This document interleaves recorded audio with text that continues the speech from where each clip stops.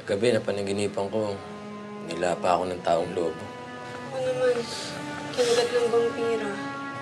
Ano na kaya nangyayari kay Nalia at Sir Mateo? Okay kaya sila? Olive, wala pa bang malita mula kina Jetro? Narinig yung sinabi ni Jethro kahapon, di ba? Na kahit nakakatakot yung mga taong lobo, silang bubuti. Tapos yung mga vampira, silang masasama. Tinawag ng mga taong lobong vampira si Kuya Mateo. Ang ibig mong sabihin nun, masama siya. Hindi. Hindi masama si Sir Mateo. Eh, wala akong pakialam kung anong sinasabi niya mga taong lobo na yan. Kilala natin si Sir Mateo. Tayo, mga kapamilya niya. Hindi masama si Sir Mateo.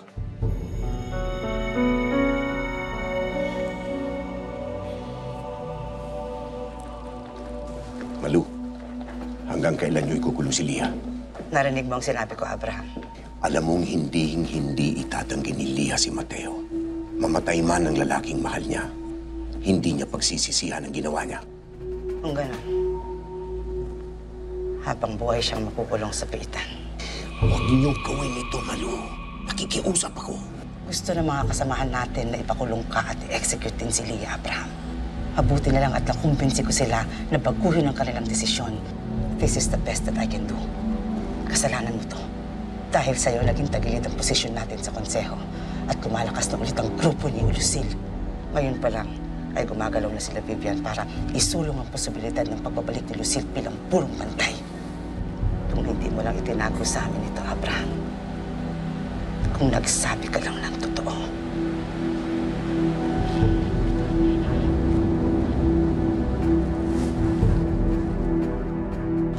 ka, please. Hello? Lucas, hindi magandang balita kay Lia, Lucas.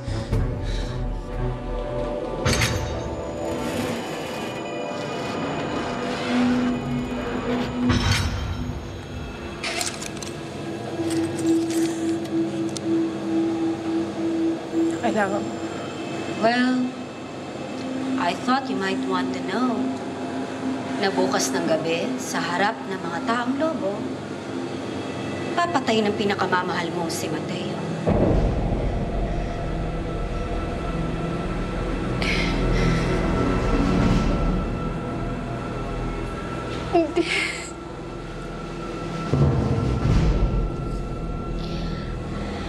I came here to tell you that personally na makita ko ang mukha mo. At hindi ako nagkamali. Your reaction right now is precious.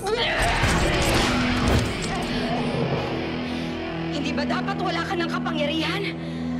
Lalo na't napapalibutan ka na't napoposasan ka ng pilak. Nakalabas ako dito.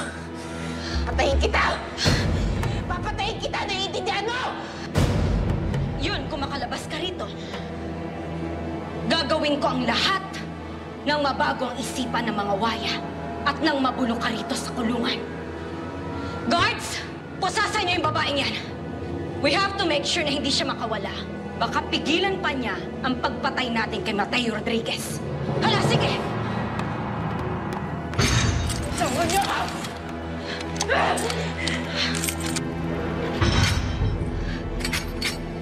Your mother and I had a deal. Sinabi ko nga alam ko para, para hulihin si Mateo. Para protektahan si Lia. Bakit pati si Lia nadamay sa pagpaparusa nila? Wala na sa kamay ni Mami ang pwedeng mangyari kay Lia. You should have known better than to make a deal with her in the first place! You should have known na wala siyang pakialam kung anong mangyayari kay Lia. Hindi natin pwedeng hayaan mamatay si Lia. Wala akong pakialam kay Lia! Pero ayoko ring mamatay si Mateo. Pero kung siya ang tinakdang vampira, hindi, pwede.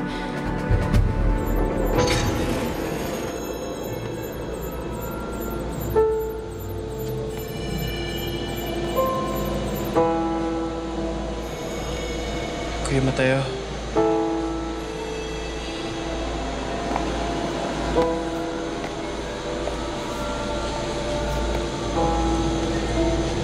Ah. Gusto ko sanang humingi ng tawad sa'yo. Kasi dahil sa akin, nandito ka. Dahil sa akin, bukas, Bukas? Anong mangyayari bukas? hindi mo ba alam?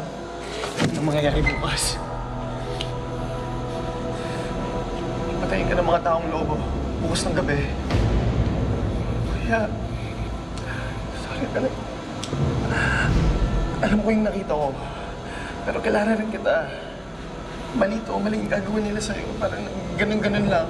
Parang hindi ka namin naging kakampi. Parang hindi ka namin naging kaibigan.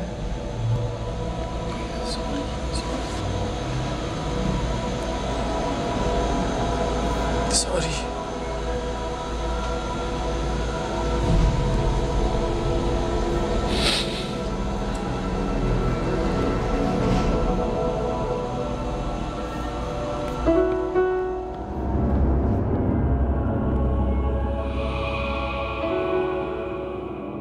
Patayin ka ng mga taong lobo.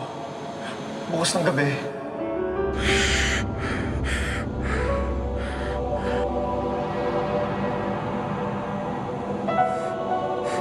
Hindi ka.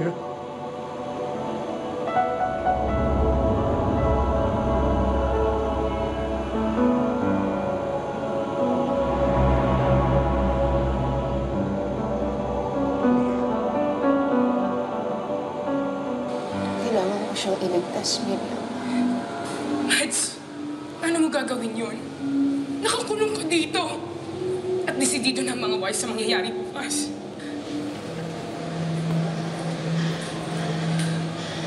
Tulungan mo ako, Mads. Ilabas mo ako dito. Hindi alam mo ba kung ano sinasabi mo? Pagtataksil sa lahi natin yan. Iintindihan ko. Pero ngayon kaya kong gawin ng kahit na ano para lang iligtas si Mateo. Mads, Mads, nakikiusap ako sa'yo. Kailangan ko ang tulong mo. Alam ko kung anong iniisip niyo kay Mateo. Alam ko kung ano pinaniwalaan niya.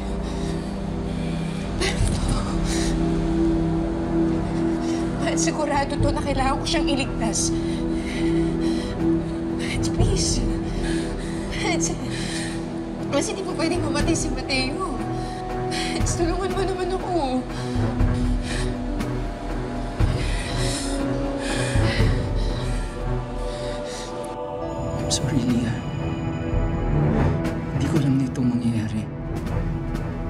Hahanap ako ng paraan. Ililigtas kita. Nay, anong gagawin natin? Kapag natuloy yung execution bukas ni Mateo, ikamamatay yun ni Lia. Kahit ayaw natin, wala tayong magagawa. Kapakanan ng buong lahi natin ang nakasalalay sa kamatayan ni Mateo, Miriam. Eh, wala tayong magawa kundi tulungan. Tulungan natin si Lia na tanggapin ang katotohanan mawawala sa kanya ang lalaking pinakamamahal niya. Anong gusto mo gawin ko, Lucas? I don't know. Talk to the other wires. Kausapin mo yung mga tauhan ni Mrs. Zaragoza. And what? Start a coup? You want us to storm into the facility and help Leah escape? Are you crazy? Ang mga taong lobong gusto mong kalabanin, Lucas. Besides, hindi ba you should be more concerned about Mateo? You told me they were gonna kill him. Kapakanan ng buong lahi natin ang nakasalalay sa kamatayan ni Mateo, Miriam. Eh, wala tayong magawa kundi tulungan natin si Lia na tanggapin ang katotohanan mawawala sa kanya ang lalaking pinakamamahal niya. Nakikiusap ako sa'yo. Kailangan ko yung tulong mo. Alam ko kung anong pinapaniwalaan mo tungkol kay Mateo. Pero sigurado to na kailangan ko siyang iligtas. Mads, please. Please, tulungan mo ako. Hindi pwede mamatay si Mateo.